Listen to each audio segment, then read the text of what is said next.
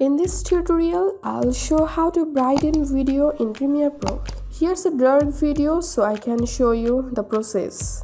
So all we have to do, go to effect panel and search here lighting effects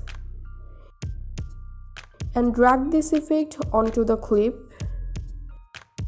Scroll down then you will find light 1. Expand this. From this light type select directional.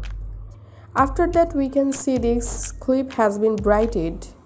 If you wanna increase or decrease the light in the video, you can do it easily from intensity. That's it for now. Make sure to subscribe this channel. Thanks for staying with 5 Minute Solution.